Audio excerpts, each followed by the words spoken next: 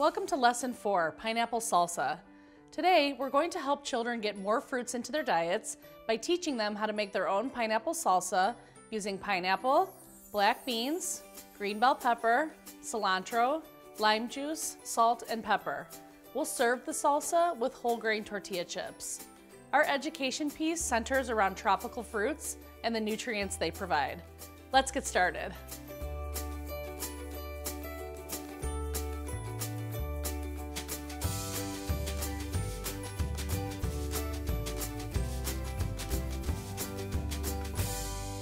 First, let's make sure that we have all of our ingredients. Using the prep list provided, check that you have pineapple, black beans, green bell peppers, cilantro, limes, salt, pepper, and whole grain tortilla chips. Now we need to check our equipment. Ensure that you have a bucket of sanitizer water with a clean wiping cloth and food service gloves. You'll also need a cutting board, a chef knife, a quarter cup portion scoop, a tablespoon measure, a garbage bowl, prep bowls with lids, and a marker for labeling them. Let's start prepping.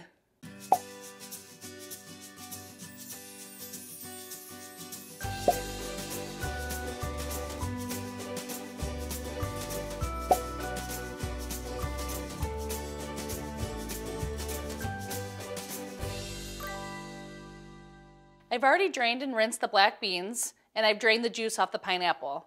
You can use fresh pineapple in this lesson, but using the canned is a huge time saver. Next, I'm going to dice the bell peppers, quarter the limes, and chop the fresh cilantro.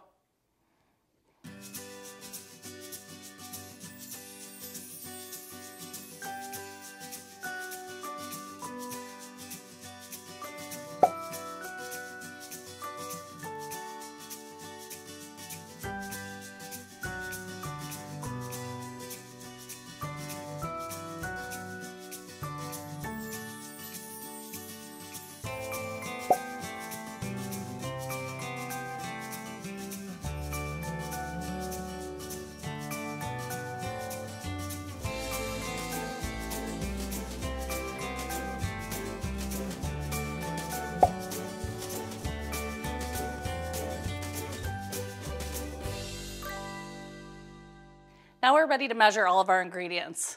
You'll need one container of each ingredient per group plus one for the demo. I'll start by measuring out the limes, putting two lime wedges per container, and then measuring the cilantro using the tablespoon measure with two scoops per container.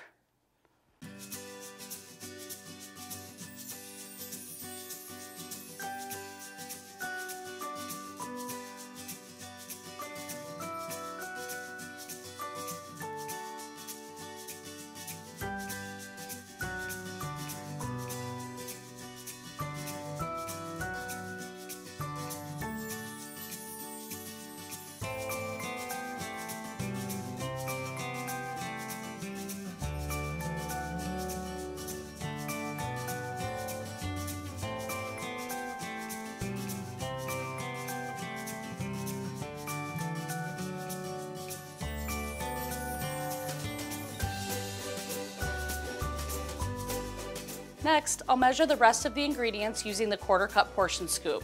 Be sure to wash the portion scoop in between each ingredient or use a new one each time. I'm going to scoop two scoops of green bell pepper per container and four scoops each of the black beans and the pineapple.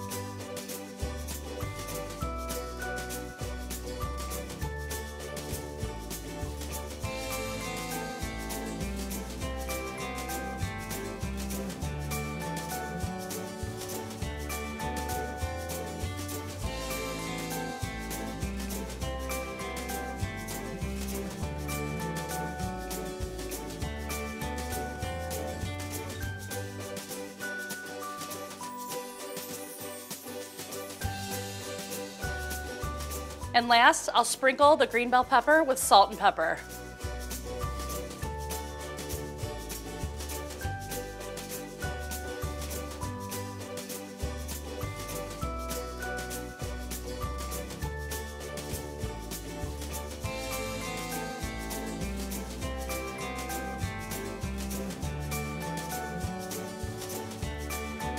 Now we're ready to cover, label, and date everything.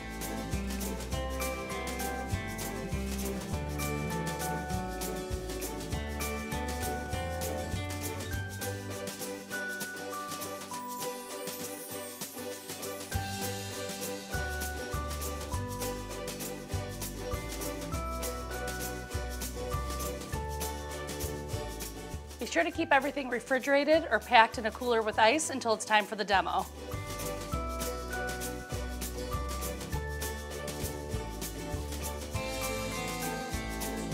Now let's make sure we have all of the equipment we need for the demo. This includes a cutting board, a chef knife, zip-top sandwich bags, plastic forks, serving spoons, mixing bowls, plastic spatulas, napkins, sanitizer wipes, food service gloves, the handout for the students, and crayons.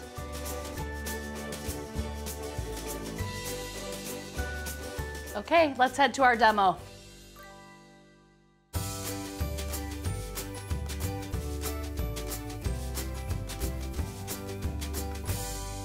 We're here on site. I have Brent with me today. We're gonna wipe down the tables, set up the lessons, and get ready for the kids.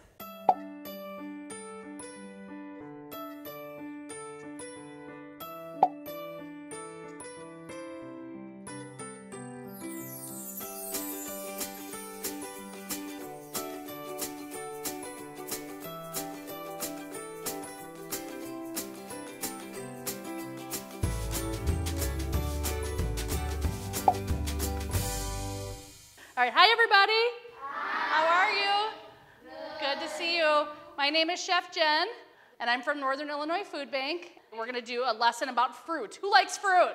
Me. Me. Good. All right. I'm glad to hear it. So we're gonna talk about tropical fruits today. Does anybody know what a tropical fruit is? Has anybody ever had a mango? Yeah. How about a papaya? Yeah. How about pineapple? Pineapple is what we're talking about today. So we're gonna do a lesson about pineapple and we are gonna make salsa out of the pineapple. Who likes salsa? Okay, so sometimes when you eat salsa, you're used to seeing it red, right? It's got tomatoes in it. So this is a little bit different. We're making a salsa out of pineapple and black beans. Okay, has anybody ever had black beans before? Yeah, they're really, really good. Okay, so before we start on our lesson, I have three rules. Okay, can everybody look up here and listen? So my first rule is that everybody stay in their seats. Can everybody do that? Yeah. Yeah, you guys are used to doing that all day in school, right? Yeah, okay. The second rule is while I'm talking, you guys are listening, listening and and looking at me. So I want to see everybody's eyeballs. Can I see everyone's eyeballs? I don't see eyeballs in the back there. Eyeballs? Okay, that's what I want to see while I'm teaching you guys. I want to see your eyeballs, okay? The third rule, and I think is the most important rule, is to have fun. Can you guys do that? Yeah. yeah? Okay. Are you sure you can have fun? Yeah. I don't know. Are you really sure? Yeah. Okay. Okay. All right. I'll believe you for now, but I want to see some fun, all right? We're going to make this recipe today. It's called pineapple and black bean salsa, okay? I'm going to show you guys how to make it first, and then you guys are going to do it in your group. So for right now, I just need everybody to look and listen while I talk, and then I'll tell you when it's time to go. Is everybody cool with that? Yeah, okay. So tropical fruits like pineapple, they are good for you because they have something in them called fiber. Who's heard of fiber before? Does anybody know what fiber does when you eat it? It makes you feel full. So when you eat foods that have a lot of fiber in them, they make you feel nice and full. All right? So and it's also really good for your heart health. It's really good for things called cholesterol. Anytime you eat things that are high in fiber, they're really good for you. So tropical foods have fruits have a lot of fiber. So we're going to say give a high fiber five, that might be hard to say, for tropical fruits, okay? So when I say give me, you guys are going to say high fiber five. Let's practice it. High fiber five. That's a lot of F's, right? So I'm going to say give me a... High fiber five. Oh my gosh. You guys said you were fun. That didn't sound very fun to me. You want to try it again? Yeah. Okay, ready? Give me a five. Good for tropical fruits. Very good. That's what I want to hear. So I'm going to show you guys how to make this salsa. You guys are going to watch while I'm doing it, and then you guys are going to do it, and Kaya and Brent and I are going to come out and help you. Does that sound good? Okay, so let's check first that we have all of our ingredients. Does everybody have in front of you a recipe, a piece of paper? Yeah? So first is black beans. Does everybody have black beans in front of them? Yeah? Does everybody have pineapple? Yeah. How about green bell pepper? Yeah. Cilantro? Lime wedges? Okay, salt and pepper is already on the bell peppers, so I put the salt and pepper on already for you, so you didn't have to. And then does everybody have whole grain tortilla chips?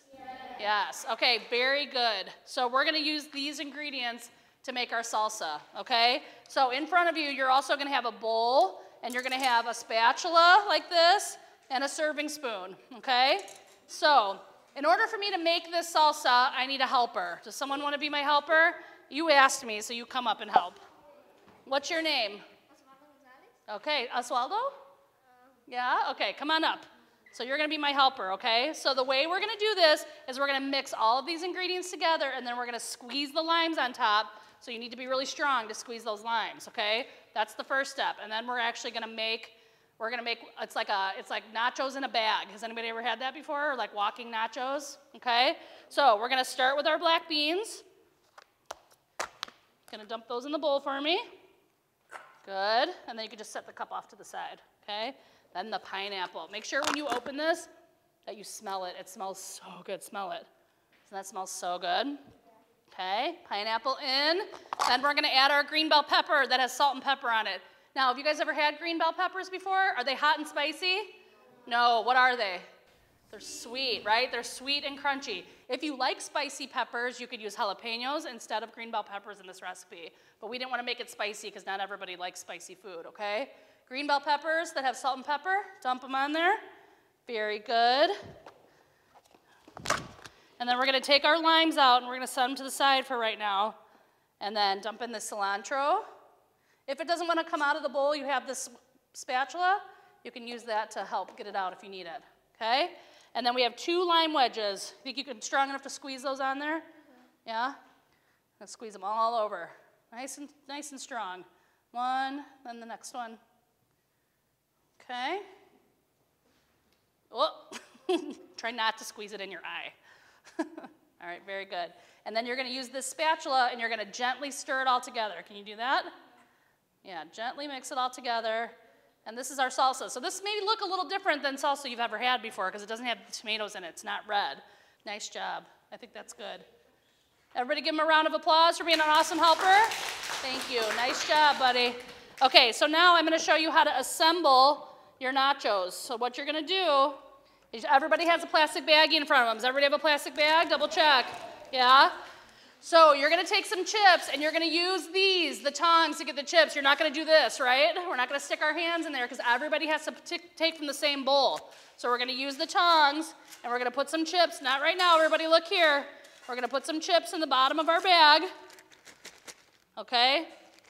Make sure that you have enough chips for everybody, so don't fill your bag all the way up with chips, right? Just in the bottom like that, because we have to have enough chips for everybody to share. Then you can either use your spatula or your serving spoon and you're gonna take some of your salsa and you're gonna pour it over your chips like that, and then close the bag. And what are you gonna do? Shake, shake, shake. Shake, shake, shake, shake your nachos. You have to sing that song when you do it. I'm just kidding. you're gonna shake it all up, just like that, get it all mixed up, and then you have a fork, and you can eat it right out of the bag with your fork, or you can dump it on your plate and eat it off your plate. Everybody cool with that? Guys think you can handle it? Ready? Everybody ready? Give me two thumbs up if you're good. All right, let's do it. So the lesson was good today. It was uh, it's a way to get fruit to kids in a little bit different way. Um, it's a savory recipe. It's a salsa. Um, kids are probably used to eating like a tomato-based salsa, but not something like this that has beans and fruit in it. So it's just another way to try to get fruit into their diets. We really try to mix food groups when we do these lessons. There's always a star ingredient, but we want to add in things like vegetables and beans so they can get some protein and more fiber and using the whole grain tortilla chips so we get a whole grain in there. So really trying to stay around that My Plate model um, that we've been using for you know, all of our lessons and all of our after school nutrition programs. Okay, so everybody look up here for a second. While you're making your nachos in a bag, if you look on the other side of your recipe sheet, there's a worksheet. So on your worksheet, there's three directions. The first one says fill in the blank in the bubble, and it says give a high blank five for tropical fruit. What do we write in there? Oh, fiber, right. You're gonna complete the maze, do the maze from one tropical fruit to the other, okay? All right, so while you guys are eating and doing your worksheet, when you're all done, anything that's garbage, like the plastic bowls, um, any old napkins, your plates, your fork, the baggies, anything that's garbage needs to go where?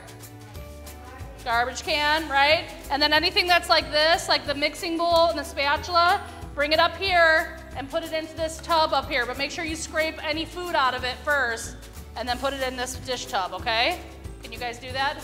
You know, when I was doing this recipe, I was thinking like, oh, we could just do a plate and put the salsa on the plate. And I'm like, how can we make it a little more fun, a little more interactive? And then that's when the idea of like the walking taco or the walking nachos came up to put it in the bag and shake it up. And it's just a little, again, just something a little more fun, putting it, making food a little more fun for them and making it an active snack, something they can do with their families if they want to. Thank you